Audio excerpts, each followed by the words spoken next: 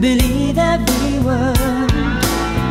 Are you willing for one more try to save the future?